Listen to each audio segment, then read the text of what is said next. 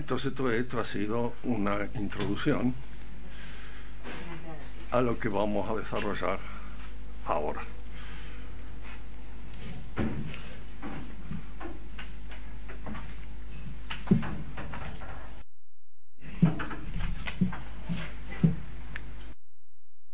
La conversación anterior, hablando de la constitución de nuestra civilización, o de esta civilización a la cual pertenecemos, estábamos considerando el papel que en las distintas actividades del espíritu que constituyen un orden civilizado juega la religión. Es decir, el papel que desempeña la religión. Supongamos, de acuerdo con un esquema que nos permite manejarnos con una cierta holgura, que las actividades del espíritu sean cinco, como dice Conesni. Puede haber otras.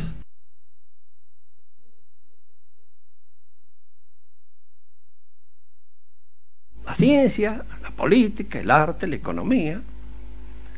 Y la idea que el hombre se hace de su propia realidad. Porque esta idea que el hombre se hace de su propia realidad está con el arte, con la ciencia, con la economía, con la política y con la religión fundamentalmente. Porque es de allí donde el hombre recibe la idea de lo que él es. Porque si nos preguntamos para qué vivimos y apelamos a aquella respuesta tan clásica que dio Ignacio de Loyola, una respuesta vasca, típica. El hombre vive para conocer a Dios, servirlo y de ese modo salvar su alma y para nada más.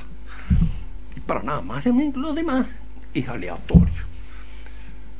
Puesto el hombre dentro de una posición diferente, desde un punto de vista puro y exclusivamente científico, habría que examinarlo. Depende qué ciencia es la que lo examina. Y la ciencia que puede determinar en un momento determinado cuál es la posición del hombre en el cosmos.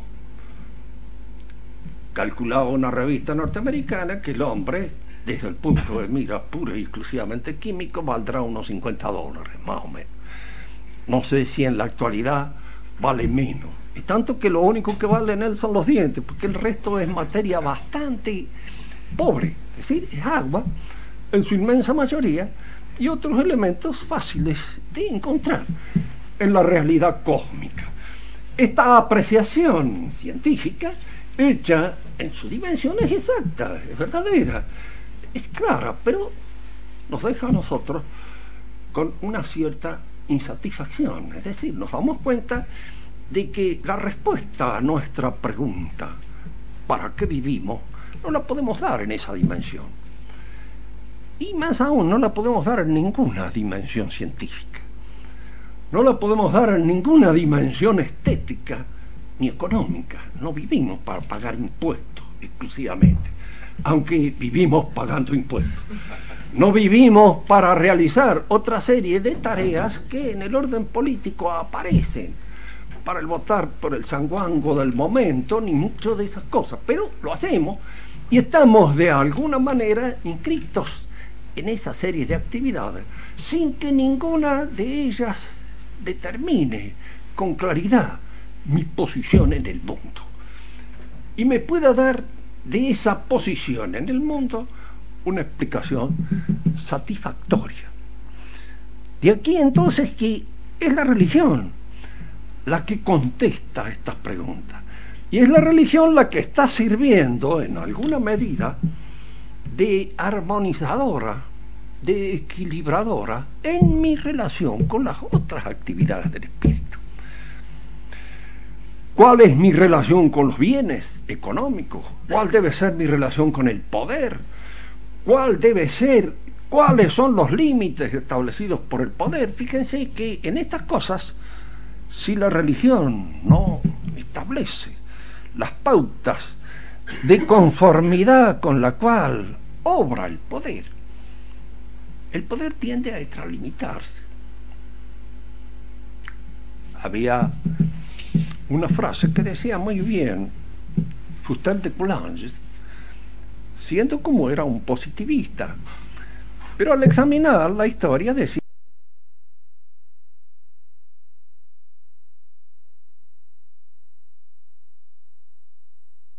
era algo que encima del admisible cuando se obedece a algo que está por encima del capricho, del antojo de otro hombre. El padre de familia, aún el padre de la familia antigua que estudió también Fistel de Coulanges en su libro La ciudad antigua, ese padre de familia era en su familia el representante de los dioses, de Dios, de la tradición religiosa que él recibía a través de los usos y las costumbres. Y él era un administrador de esos usos y de esas costumbres. Era como administrador de esos usos y de esas costumbres que él, diríamos, tenía en sus manos la liturgia de la casa, la liturgia de la familia y el poder que ejercía sobre los demás. Pero no era un poder arbitrario, un poder que nacía de su capricho, un poder que nacía de su antojo, era un poder que estaba dado por los usos y las costumbres que todos creían provenientes de Dios o de los dioses precisamente esa ley que regía la vida del hogar o la vida de la familia antigua, a la que los griegos llamaron temis, era una ley que se fundaba en la revelación de los dioses. Los dioses le habían revelado. El hombre, cuando entra a formar parte de un grupo, al jefe de ese grupo, al que lo reconoce como tal, lo reconoce como jefe porque él es el representante de Dios el representante de la autoridad divina. Él administra en función de usos y costumbres que están más allá de su capricho, de su arbitrariedad, de su antojo.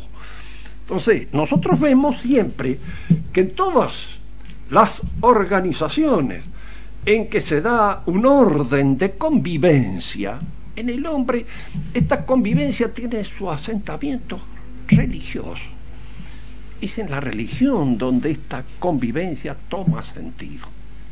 Y es curioso advertirlo. Esto, que es de observación entre los cristianos, católicos, es de observación también aún en los pueblos etnológicamente más atrasados.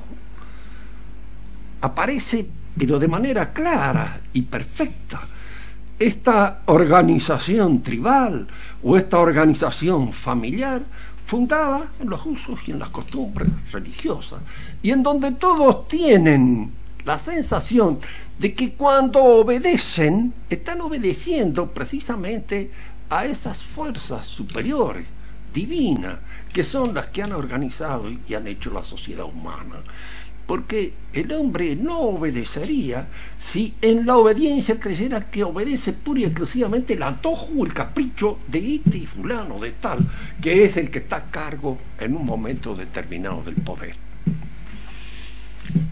Bien, nosotros nos encontramos entonces que nuestra civilización tiene una gran la habilidad, diríamos así, una gran libertad en el ejercicio de casi todas las actividades del espíritu. La ciencia es libre de buscar la explicación de aquellos misterios que afectan a la jurisdicción en donde se realiza su búsqueda. Las formas de expresión del arte en esta civilización son diferentes. No son hieráticas definitivas, hechas de conformidad con un canon que viene de la religión misma y que se impone, ¿no? Hay arte gótico, hay arte románico, hay barroco. Cada uno de esos artes en alguna medida son cristianos. Y con toda libertad el artista ha sabido dar la respuesta que el artista debe dar a lo que el arte le propone. En el orden de la organización económica también siempre ha existido en la cristiandad diferentes maneras de organizar la economía. El mundo capitalista surge en nuestra civilización. Y a pesar de que algunos dicen el auge del mundo capitalista surge de hecho en el protestantismo, pero han sido los países católicos los que han inventado de alguna manera todos aquellos recursos y fuerzas que hacen al capitalismo. Florencia es la primera ciudad capitalista que se erige en Europa. Hasta el punto mismo de que los florentinos en un momento determinado, para gran regocijo nuestro, tenían entre sus colonias a Inglaterra los ingleses le debían dinero y gran forma de la organización de la vida económica inglesa estaba dependiendo de esos barrios que los ingleses no sé por qué le llamaban de los lombardos, pero en realidad los verdaderos banqueros eran florentinos. Y en un momento determinado esta organización económica que surge en esta ciudad de Florencia tiene que hacerse del poder político, porque la necesidad de la organización económica lo impone.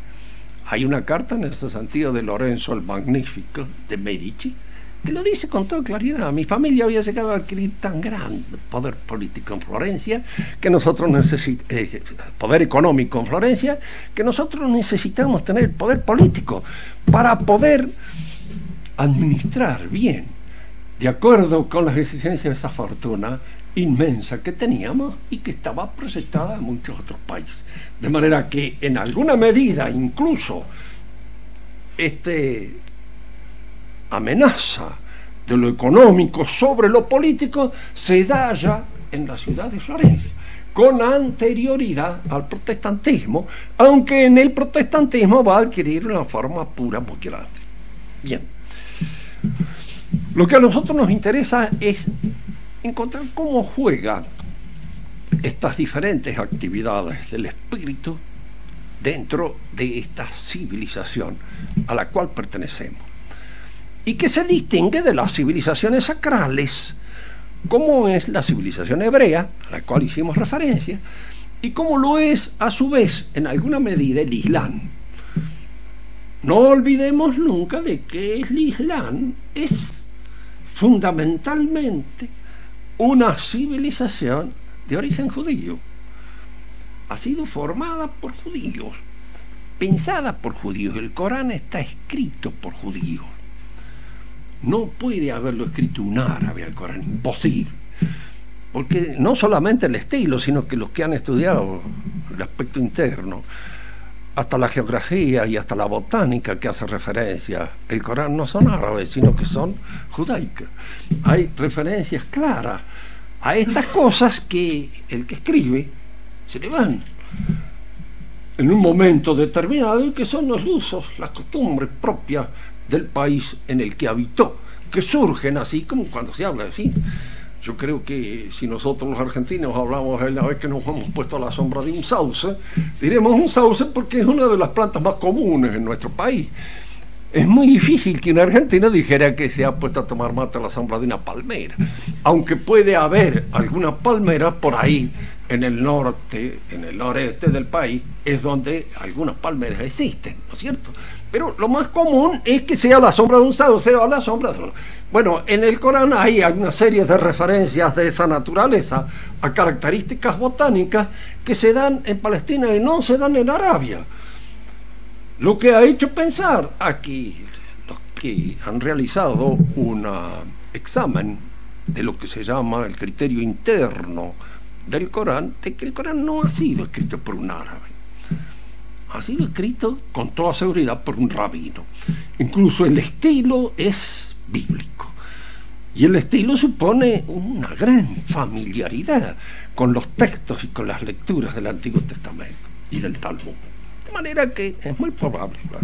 Como surgió en alguna otra oportunidad, vamos a hablar de esto, porque es una tesis sostenida por el padre Gabriel Terí, que escribió un libro muy interesante sobre los orígenes del Corán y que él publicó con el nombre de Zacarías Anna. Es decir, se dio un nombre árabe para publicar su crítica al Corán, porque en esa época Francia estaba muy relacionada, muy en amistad con el mundo árabe, y él no quería que se hiciera una cuestión, sobre todo a su congregación, era dominico, que tuviera alguna cuestión con el gobierno en razón del libro que él lanzaba, porque los árabes no admiten discusiones con respecto, diríamos así, al origen de sus escritos. Para un árabe de estricta observancia, el Corán ha sido dictado por el ángel Gabriel. Y uno le dice, pues mire, el ángel Gabriel estaba mal informado en un montón de cosas.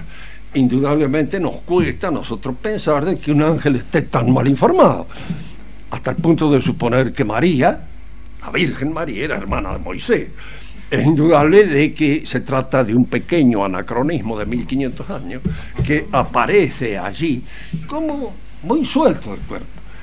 Y si alguien nos dice, bueno, pero si el que escribió el Corán era un judío, no sabía Sí, pero el que escribió el Corán podía saberlo. Pero los que no lo sabían eran aquellos que le preguntaban. Y los que le preguntaban se les podía decir cualquier cosa porque ignoraban rotundamente todo lo referente a las escrituras.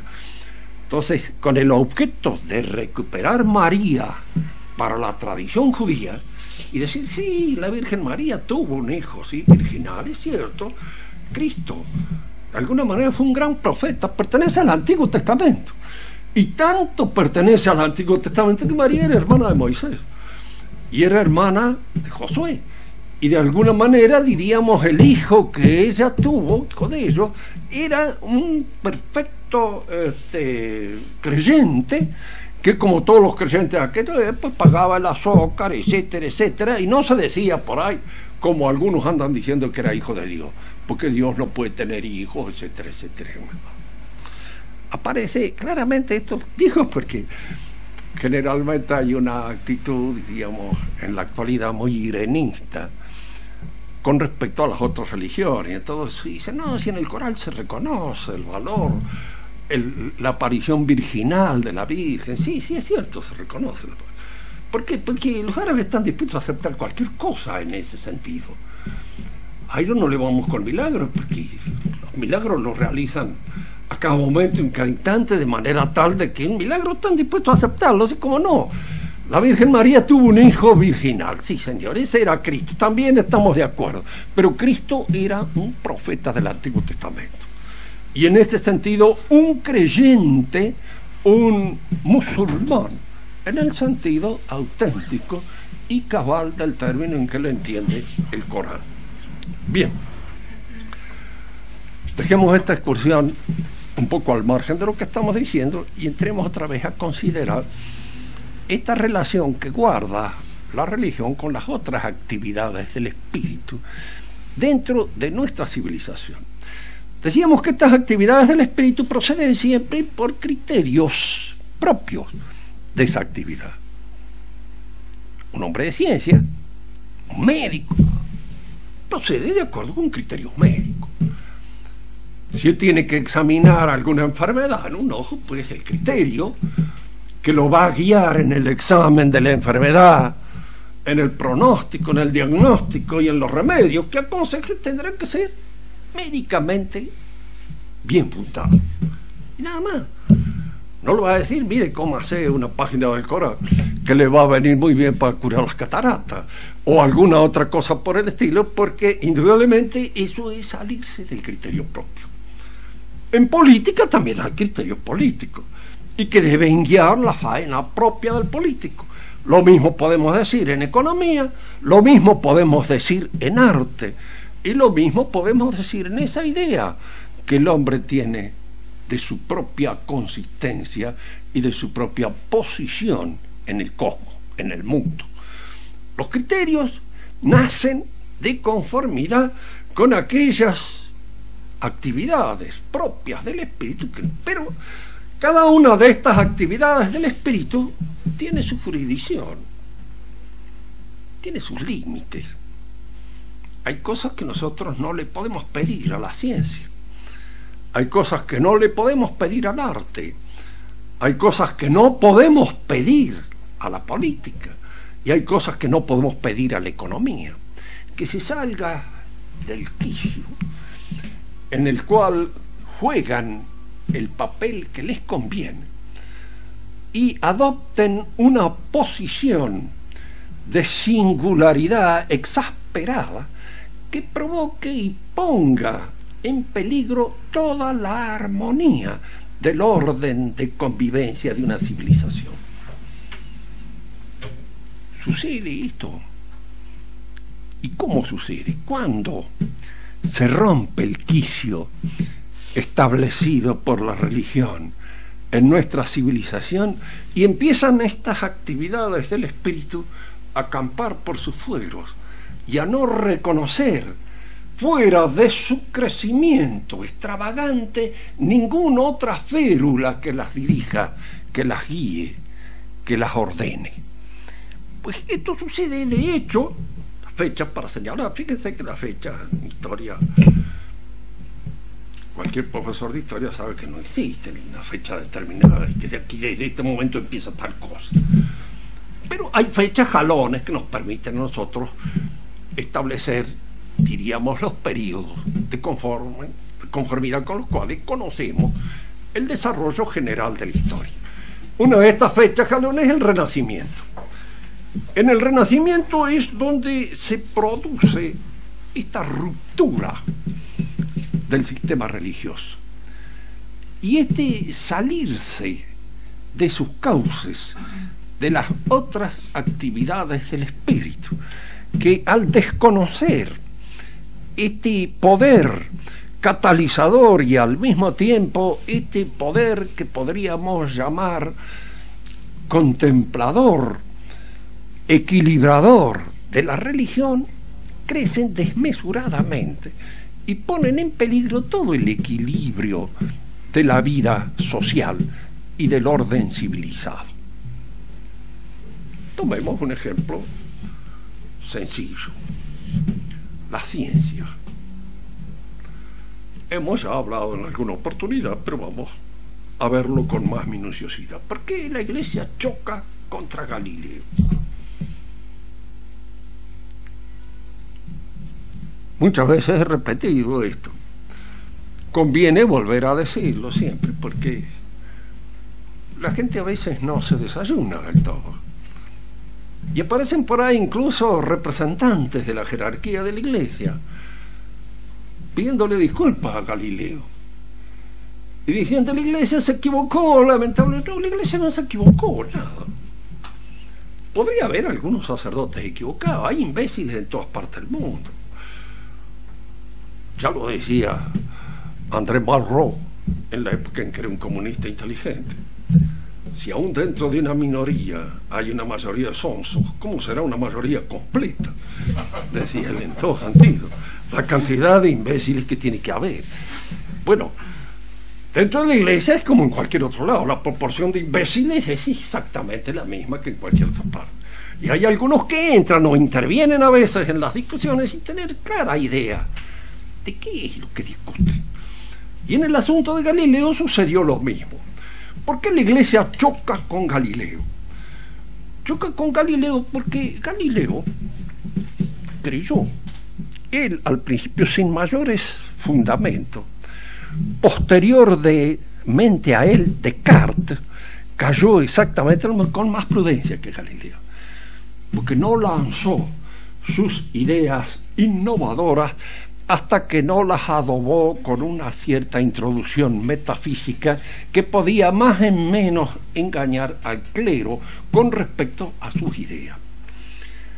Ellos tenían la idea de que el cosmos, el universo mundo, era un mecanismo que podía ser conocido perfectamente de acuerdo con una cierta formalidad de carácter matemático.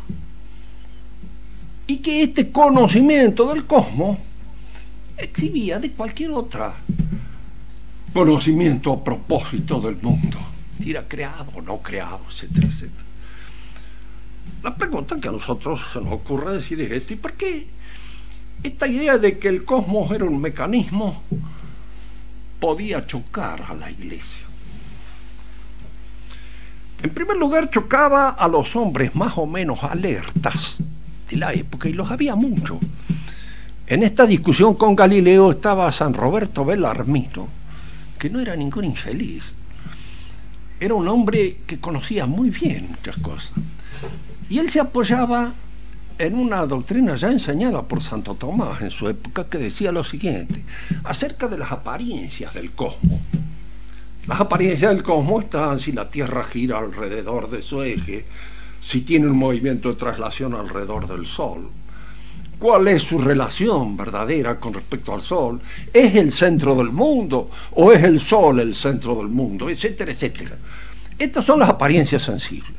Y con respecto a esas apariencias sensibles, Santo Tomás decía que muchas son las hipótesis que se pueden dar, muchas, sin que ninguna de ellas sea absolutamente verdadera dentro de las que se han dado.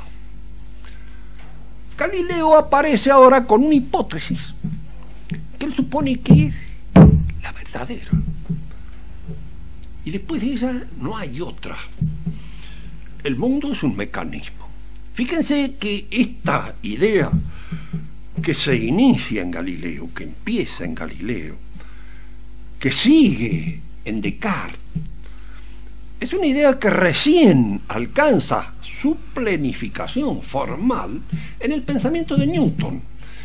Es con Newton cuando entonces esta idea de que el mundo está mecánicamente organizado de conformidad con ese sistema, con ese modelo planteado por Newton, se determina. Y en la actualidad podríamos decir que esta es una idea que ha pasado al desván de las cosas viejas, porque ya no es.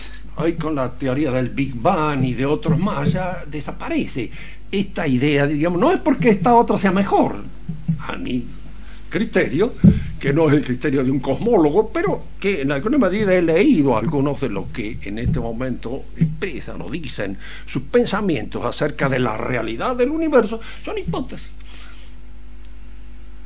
matemáticamente probables, pero que no significan de ninguna manera que el mundo es así o no es así. Ahora la pregunta que viene a nosotros es, ¿por qué a la iglesia le molestaba pensar de que el mundo fuera un mecanismo perfectamente conocible de conformidad con las leyes matemáticas que tenía la posibilidad Galileo y posteriormente Descartes de conocer? Porque si el mundo es un mecanismo, la providencia está de más. Esto ya lo señalaba Pascal cuando hablaba del sistema de Descartes. El sistema de Descartes dice es un sistema del mundo tal que Dios no tenido nada más que darle un papirotazo, ponerlo en marcha, dejarlo y irse. Él está ausente de esto. Fíjense que esto es un mecanismo. El que lo inventó no está acá, no lo sostiene, no lo retiene ni en su inteligencia ni en su voluntad. Es independiente de su inteligencia y de su voluntad. ¿Funciona o no funciona? Si hace milagros, no anda. Con toda seguridad es un mal mecanismo, hay que tirarlo, porque no sirve. El mecanismo que hace milagros no sirve.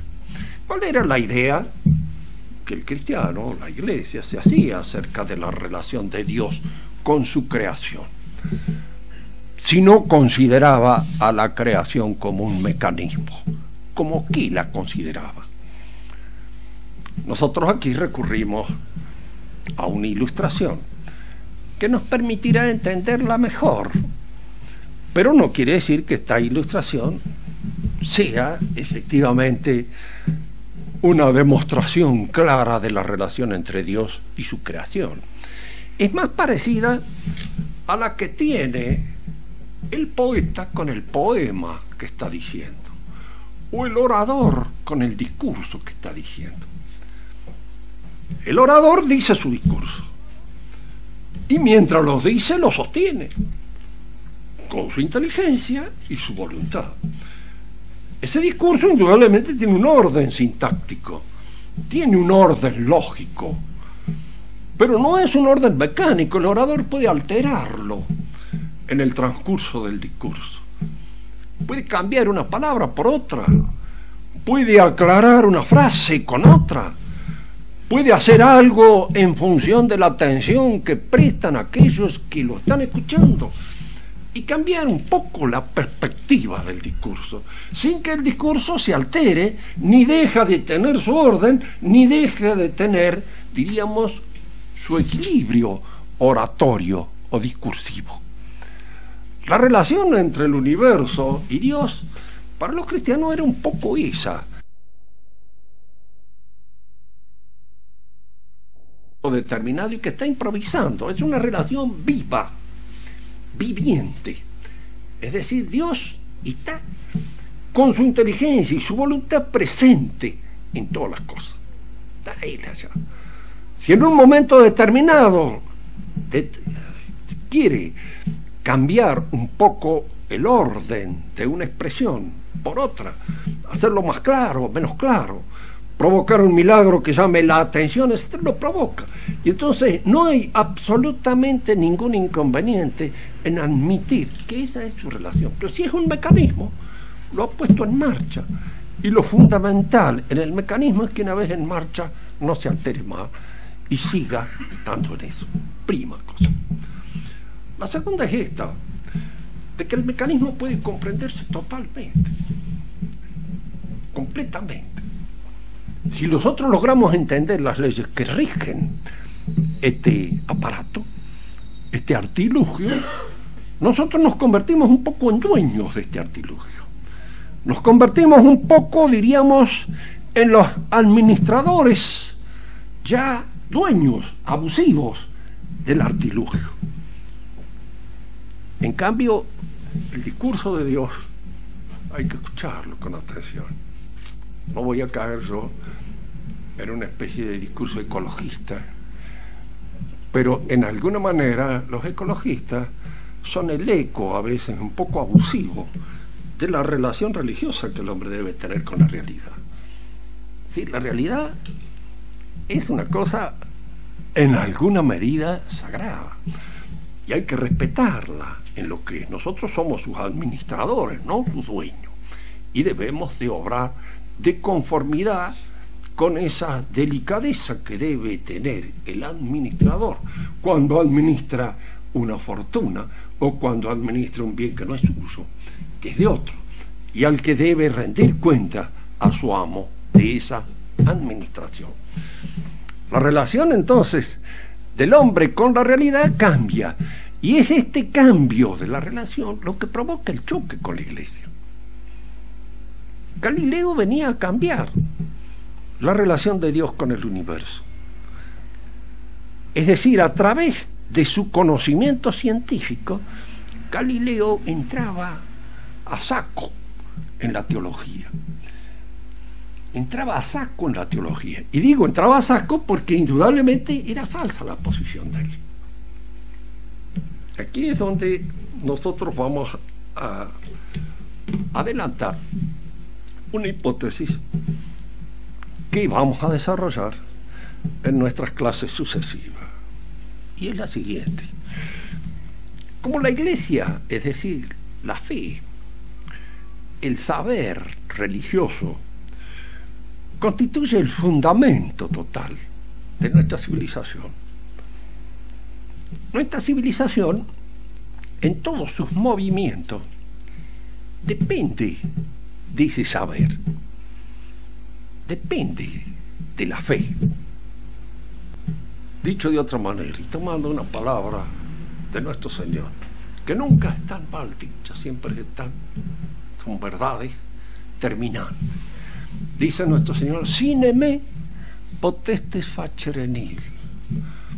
Sin mí no podrás hacer nada. ¿Y qué esto quiere decir? Lo que nosotros hemos construido sobre la palabra del Señor es esta civilización. En cuanto nosotros nos apartemos de ese fundamento espiritual, sobre el cual hemos construido la civilización, haremos nada. nos está señalando también otra cosa. Toda la marcha posterior de la civilización a la que pertenecemos, sea en el sentido cristiano, o sea en el sentido contrario al cristianismo, no se suele, no se puede interpretar sino sobre la base cristiana. Es el cristianismo el que lo explica. Entonces, aun aquellos movimientos que aparentemente son contrarios al cristianismo y que surgen del cristianismo son ciertas ideas cristianas laicizadas, secularizadas. Fíjese que el término secularizar es un término jurídico, ¿verdad? He tomado de los juristas, significa pasar al orden civil un bien que es propio del orden religioso. Así se seculariza una iglesia cuando se convierte en una boat, en un conventillo o en alguna otra cosa de uso civil. Se seculariza. Pero así como se secularizan los bienes materiales, los bienes como pueden ser los edificios, se secularizan también ciertos principios de carácter espiritual. Y en esta secularización de los principios de carácter espiritual es a veces donde obra ese proceso al que hemos llamado nosotros la revolución y al que hicimos alguna referencia en la clase anterior. Tomemos un ejemplo que nos dé una idea más clara.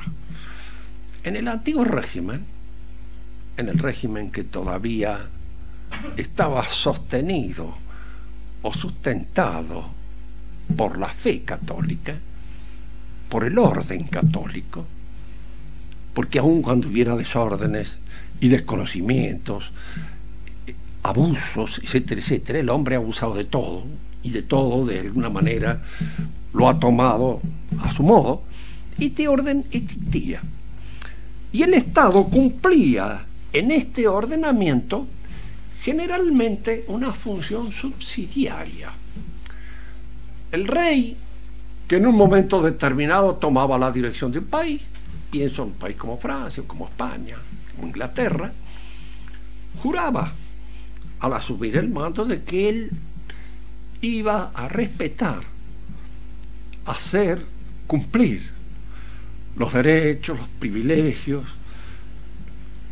los usos, las costumbres de todas aquellas comunidades intermedias entre las cuales estaban las familias que constituían el reino.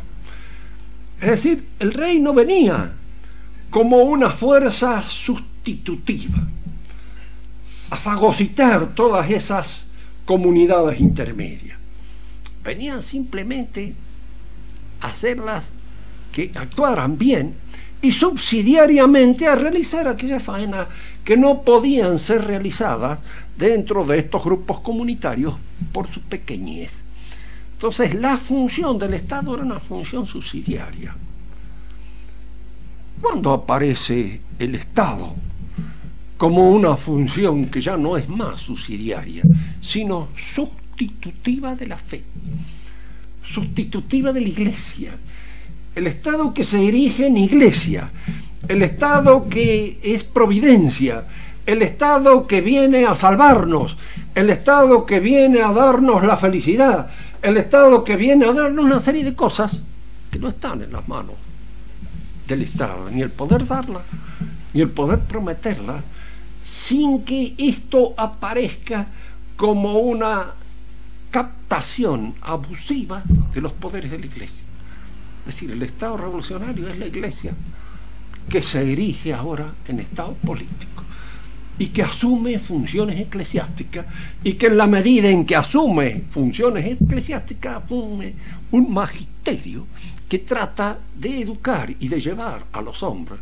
Hay que educar al soberano ¿Para qué hay que educar al soberano? Para que aprenda a ser democrático, para que aprenda a ser comunista, para que aprenda a ser socialista, para transformarlo en esa entidad ideológica que el Estado maneja y que el Estado en alguna manera sustituye a la fisonomía del cristiano, porque la iglesia es la que tiene por obligación convertirnos a nosotros hombres en cristianos, en otro Cristo. La iglesia la que en alguna medida ejerce esta función, diríamos así, mutadora de nuestra naturaleza por medio de la gracia. Es ella. Pero ahora la iglesia que es lado y el Estado se convierte en el realizador de esta función, en el realizador de esta actuación transformadora de la realidad humana. Nosotros los argentinos todavía no podemos vivir en democracia, bien. Pero ya aprenderemos, por eso somos educados por Menem, somos educados por Alfonsín y somos educados por otros próceres más que poco a poco nos van a llevar a nosotros a transformarnos en ese personaje que parece ser que en donde funciona bien es en Norteamérica y que puede ser el que traiga como consecuencia esa futura felicidad de la que vamos a gozar. Fíjense que todavía en los movimientos democráticos liberales la cosa no tiene un sentido muy fuerte. Pero piensen ustedes que la ideología y este proceso de captación de los valores eclesiásticos del Estado se cumplen definitivamente en gobiernos como el comunismo, en donde se realiza efectivamente, y donde esta transformación del hombre, este cambio en ese otro mutante socialista que va a surgir como consecuencia de la depuración de la cesis, del ascetismo sufrido a través de la dictadura del proletariado, este mutante es el nuevo hombre que al fin se va a realizar o va a realizar el paraíso en la tierra. Fíjense que acá no han inventado absolutamente nada. Han tomado ciertos principios cristianos, anunciados por el cristianismo, los han vaciado de su contenido sobrenatural, los han naturalizado, los han secularizado y los proponen ahora para que en alguna medida esto sea realizado secularmente, laicamente por el Estado, que es el que se encarga de realizar esta tarea o esta función típica de la Iglesia. Por eso en la clase pasada, nosotros habíamos anticipado algo de esto. Y decíamos, la revolución social es un proceso que se cumple en la civilización cristiana, no en otra, porque a las otras civilizaciones llega por contagio, desde la nuestra. El marxismo es un producto de nuestra civilización. Es un producto que nace de todo el pensamiento ideológico protestante. A fin de cuentas, de para poder encontrar la clave de su pensamiento, hay que leer la ideología de Marx. Porque es allí donde él se funda para sacar las conclusiones últimas de este proceso que está en alguna medida incoado en el pensamiento protestante, con Lutero y con sus continuadores filosóficos hasta Hegel y Marx. Pero este es un proceso de vaciamiento, es un proceso en el cual los elementos cristianos han sido sacados de su quicio sobrenatural y colocados en un quicio pura y exclusivamente naturalista. Esta revolución se cumple por etapas. Se inicia en el orden del conocimiento. Primero lo que trata de sustituirse, lo que trata de captarse es un saber acabado, completo, absoluto. El saber que según la iglesia tendremos nosotros en el otro mundo, no en este, porque en este ese saber no nos está prometido. Cuando veamos a Dios cara a cara, vamos a terminar con una ligera reflexión sobre esto para dejarlo preparado para la próxima función, en la cual trataremos de desarrollarlo dentro de otro contexto. ¿Qué es ver a Dios cara a cara? Indudablemente nosotros no nos encontraremos en el otro mundo frente a una gran suma teológica que tendremos que estudiar o leer, ver hay toda una transformación como consecuencia de la presencia misma de Dios. algo de esto nosotros podemos vislumbrar, fíjense. Lo he dicho varias veces en conversaciones aquí, de manera que a lo mejor lo repito, pero nunca viene del todo mal repetirlo. Del infierno nosotros tenemos una idea más o menos adecuada, porque acá tenemos una pequeña experiencia de lo que puede ser. La tenemos. Del paraíso no. No tenemos una experiencia. Hay, por momentos, ciertas cosas que nos pueden hacer pensar en un rapto de esa naturaleza. Las cosas que conocemos son aquellas que pertenecen a nuestra realidad. Pero por ahí hay ciertas presencias, ciertas presencias, que por su valor, su intensidad o su belleza nos arrebatan un poco, nos captan, nos raptan, nos hacen como vivir dependiente de esa presencia. Suele esto suceder. Ahora piensen que estos pequeños raptos que suceden en nuestra vida, entre una desgracia y otra, entre un mal acontecimiento y otro, suelen ser muy provisorios, muy fugaces y pasan rápidamente. Pero la presencia de Dios es la presencia de algo que tiene que raptar y transformar toda mi existencia. Dejo de ser yo ya lo que soy para encontrarme ante una realidad que me invade desde adentro y me transfigura en toda mi realidad. Si ustedes leen, y les recomiendo que lo lean, la experiencia que tuvo en este sentido García Morente, en un pequeño departamento de París donde se encontraba, esperando que sus hijas salieran de España en la época de la guerra civil.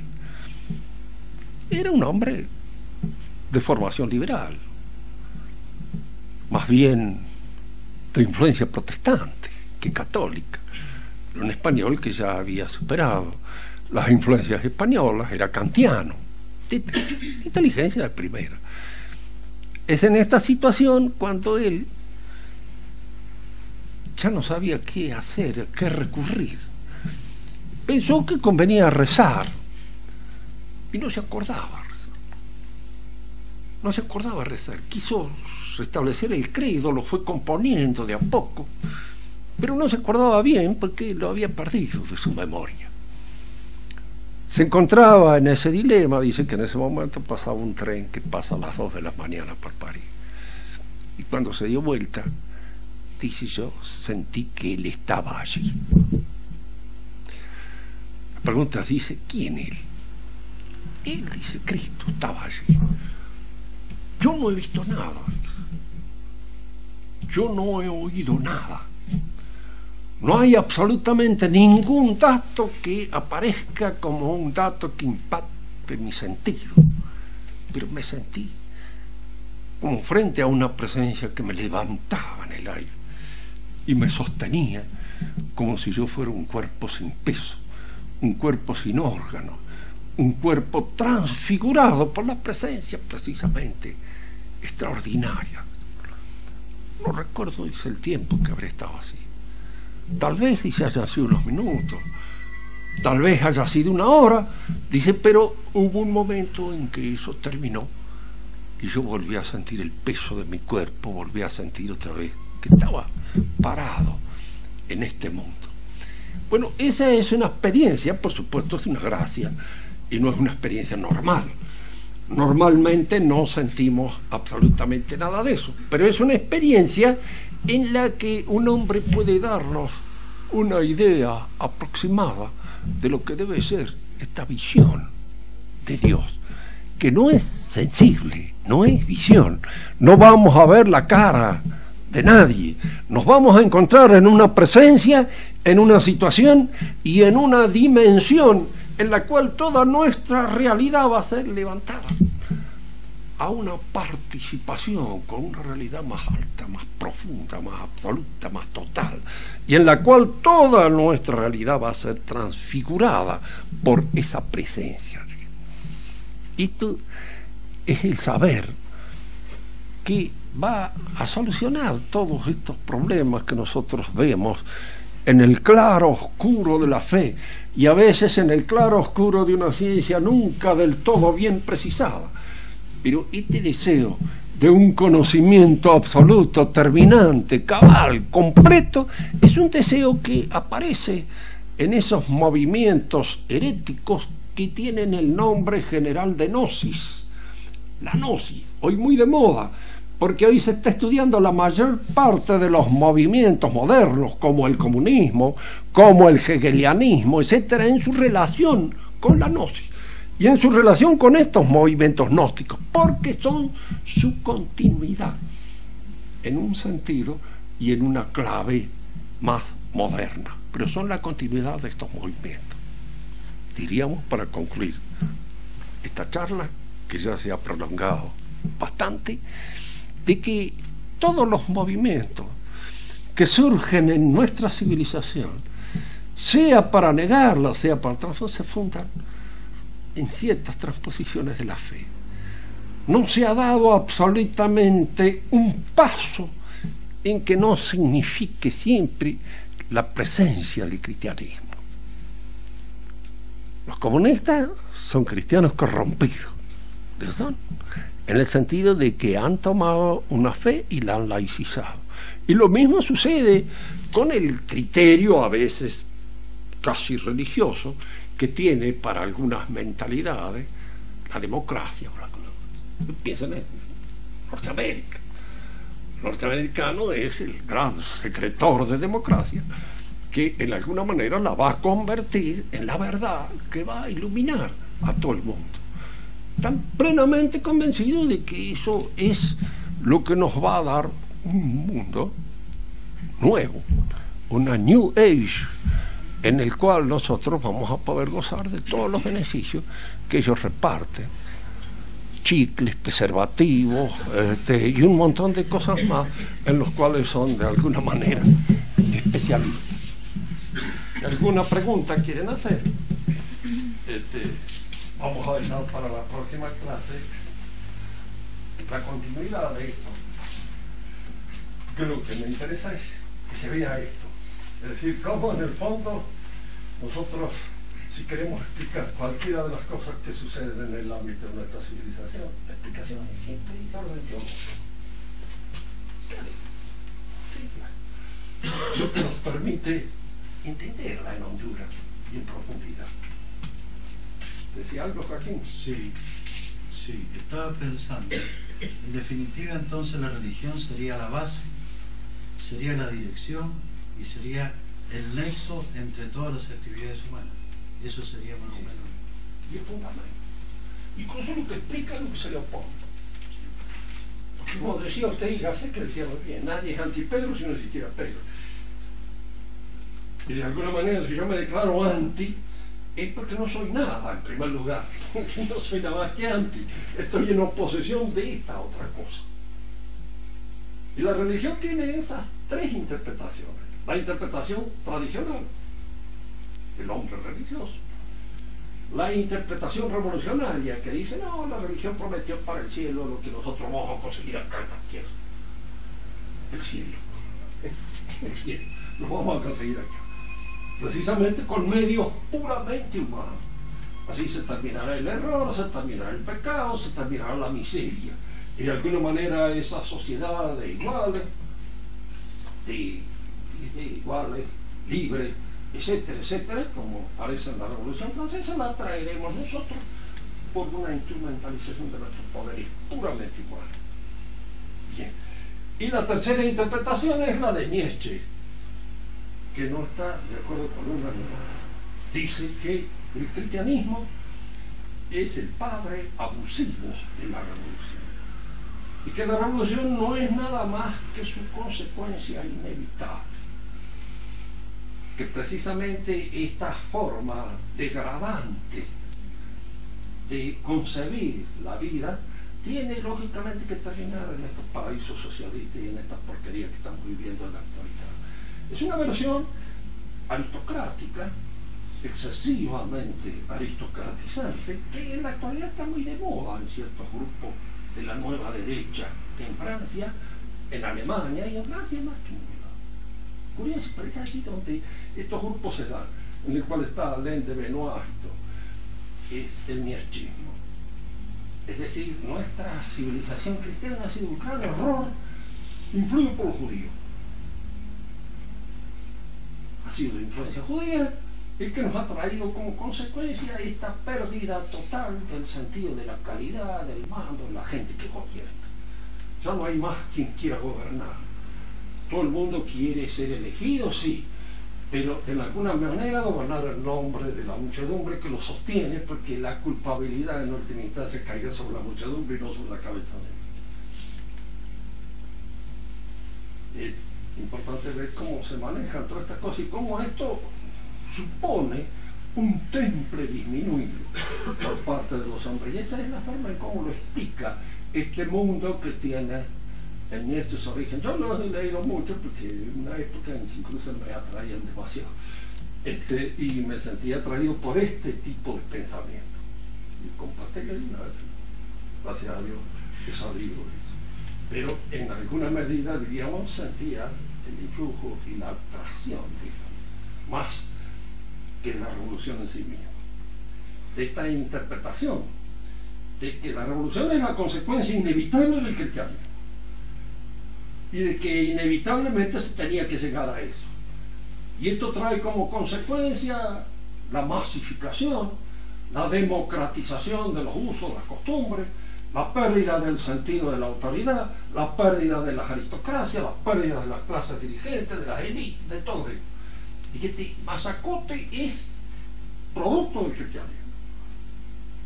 Este, y bueno, esta es la interpretación, diríamos así, un poco forzuda y heroica de los superhombres, que son los que en alguna medida están en esta línea nietzscheana. Es una especie de pecado soberbio, ¿verdad, Rubén? Es una especie de pecado soberbio. Sí, sí, sí. sí claro. Bueno, hay los soberbios. Pero cuando uno ve tanto modesto y una gran flauta, es tan lindo ver los soberbios de Son tan peligrosos unos Sí, peligrosos. Pero este, no deja de ser agradable verlo, porque que en algunos se manifiesten de algún modo un poco soberbio, pero no con toda esa modestia que es falsa. Sí. Falsa. No olvidemos nunca que a veces hay ciertas virtudes cristianas que se falsifican aquel a quien alguien le pegó un bife y por miedo este, puso la otra mejilla, no es Cristo precisamente. Y Cristo no la puso por miedo, puso porque le sobraba para alquilarlo. Pero cuando uno lo hace por miedo, no es virtud. No es virtud, es precisamente una falacia. Es como la zorra que no podía alcanzar la uva. No matura es, ¿no es así? Vos has estudiado la fábula, pues, no, todavía no está madura, dice la cosa. No la puede alcanzar. Y sigue el asunto. Es como esos que son virtuosos precisamente por, por defecto. El que no roba porque le falta un brazo, porque le faltan los ojos. Y el que es casto porque es feliz. Este, o el que es otra cosa. Es decir, aquí la virtud a veces se disfraza de eso. Y en el cristianismo es muy común. Es muy común que alguien ponga cara de santo y simplemente porque es un, inepto. Suele suceder. Entonces, estas falsas virtudes hay que, hay que combatirlas porque son peores que las cosas. Son peores, son, son más embromados. Porque es lujo en todo. Cuando uno habla de la humildad no hay que olvidarse nunca que es una de las virtudes más inteligentes que se pueden dar en el hombre. Verdaderamente humilde es el que conoce sus límites y el que conoce su limitación. Y esto es prueba de inteligencia. No cualquier imbécil lo conoce. Profesor,